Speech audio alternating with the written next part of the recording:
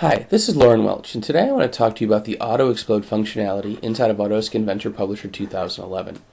If you're familiar with Auto Explode commands in your typical CAD tool, what you'll see is usually an auto mess on the screen. But inside of Publisher, we have a purpose-built documentation tool.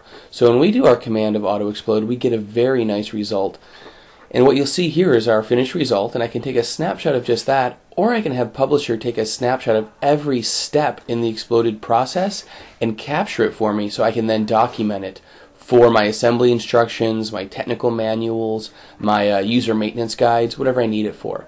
Here I'm going to go through using the play functionality inside of Inventor Publisher and walk through every one of these 34 steps that Publisher automatically created for me using Auto Explode to see how we can actually disassemble uh, this particular cell phone assembly. So here you'll see it's a very logical fashion, which is it pulls all these components apart, making my Auto Explode view.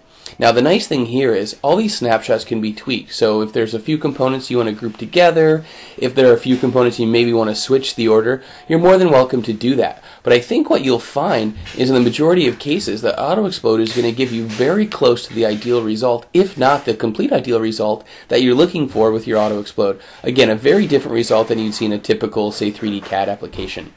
And of course, the benefit of publishers, not only can we have those animations, we can add any additional uh, ballooning, uh, callouts, annotations, anything we want. Now, obviously, the end goal of publishers is to, to publish some type of document. So here I'll just publish a nice PNG image file so we can see that nice result that we can include in any of our documentation. So there is Auto Explode functionality inside of Autodesk Inventor Publisher 2011.